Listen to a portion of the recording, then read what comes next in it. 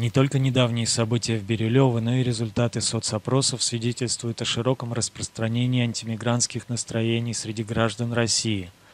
С 25 по 28 октября очередной опрос провели аналитики Левада-центра. Целью исследования было выяснить, как россияне относятся к так называемым русским маршам. В опросе приняли участие 1603 человека в 45 регионах России – Выяснилось, что из числа опрошенных граждан 29% настроены скорее положительно, а 19% скорее отрицательно. Определенно «за» высказались 11%, определенно «против» 7% опрошенных. Чтобы узнать, какие мысли и чувства скрываются за сухой статистикой, корреспондент Кавказского узла побеседовал с прохожими на улицах Москвы, в центре притяжения миграционных потоков. Существует ли проблема миграции? Да, конечно. В чем она заключается? Ну, в небольшой относительно зарплате местных жителей и как следствие, значит, нужно найти крайнюю. А крайний это кто? Крайний это приезжие. Хотя они, в общем-то, не виноваты, потому что сюда приезжать нет хорошей жизни. Понимаете? Поэтому здесь такая довольно печальная ситуация. А как бы вы решили эту проблему? Ну, если бы я смог решить, я, наверное, был ну, как минимум, мэром города, понимаете. Существует ли проблема миграции, как вы считаете? Существует. В чем она заключается? Во властях. А? Во властях. Во властях. Существует ли проблема миграции? У меня? Да, у вас прошу. Не, у меня не существует. У вас не существует. А вы как давно в Москве? Очень долго. А у вас работа, жилье, все обеспечено, да? Да. Это если честно, это придумают сами кавказцы эту проблему. Думаете? Проблем как таковых нет. Не знаю пока. Я не, недавно приехала, я, мне уже нет проблем. Да. Вы нашли работу, да? Да. И жилье нашли? Да, да, да. А откуда вы есть. приехали? Киргизстан. Существует ли в Москве проблема миграции? Да, к сожалению, существует. В чем она заключается? Она заключается в том, что наши власти совсем не контролируют приток, отток мигрантов. А вы лично сталкивались с какими-то проблемами, которые создают мигранты? Ну, преступность в основном. Вот здесь, что сказать, преступность, то есть э, так называемая уличная, уличная преступность, ну, например, гопники так называемые. Э, сейчас это все мигранты исключительно.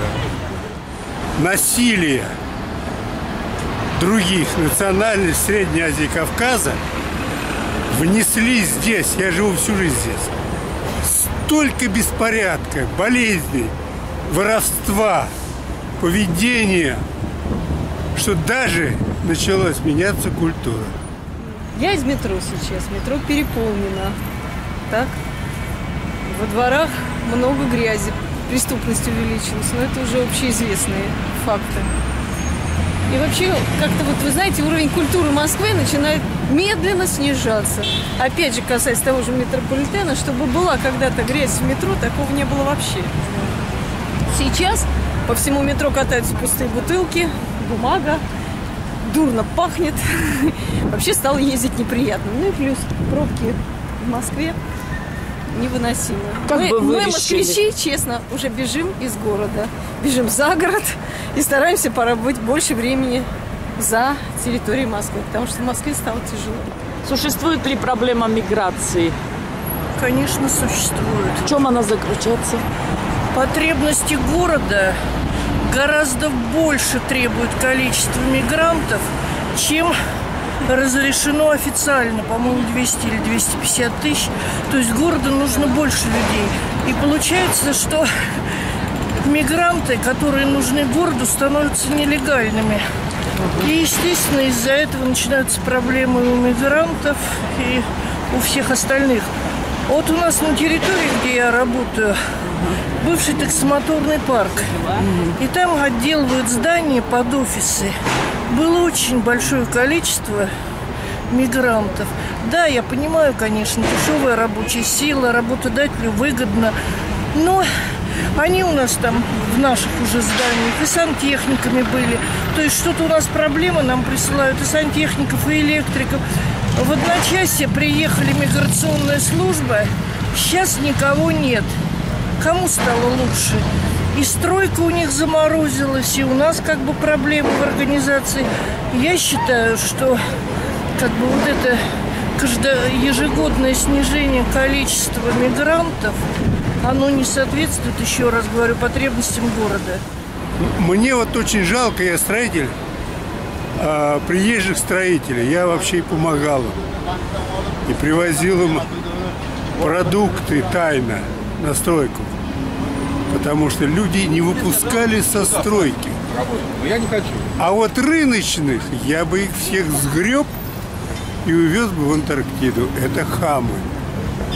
Они стариков обирают просто, я не знаю, как бессовестно, грубят все.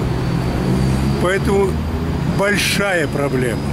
Как бы вы решили эту проблему, если бы это было в Я бы, наверное, ввел какие-то все-таки заградительные меры, в том числе квоты и так далее, потому что, ну, все-таки это должно быть как-то урегулировано. Так, так, чтобы был учет, чтобы нехорошие люди к нам не ехали, ехали хорошие, которые хотят там работать, учиться и так далее. Нехорошие нам своих хватает, зачем они нам нужны. Поэтому вот как-то так, я думаю.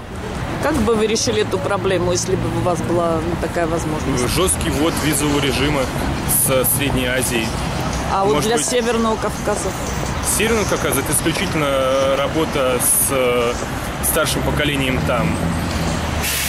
И потому что, к счастью, на Северный Кавказ можно влиять через старшее поколение, которое имеет большой вес э, в умах младшего поколения. Как бы вы решили эту проблему? Как бы решила? Как бы решила? Наверное, какой-то все-таки визовый режим, что ли. Город должен быть немножко закрыт. В целом э, процесс этот нельзя остановить нигде, в том числе и у нас. И говорить о том, что сейчас мы закроем границу, введем визовый режим, это, конечно, не выход из положения.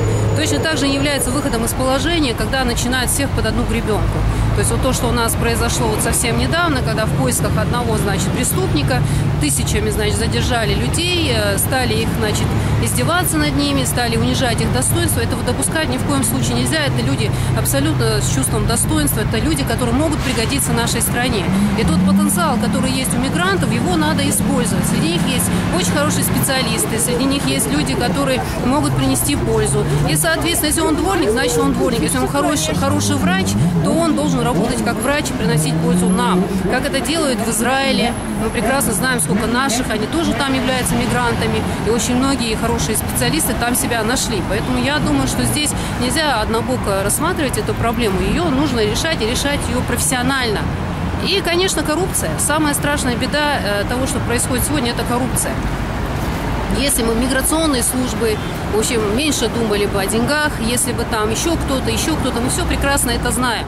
Существует ли проблема миграции в Да. Москве? В чем она заключается? В продажности наших чиновников милиции.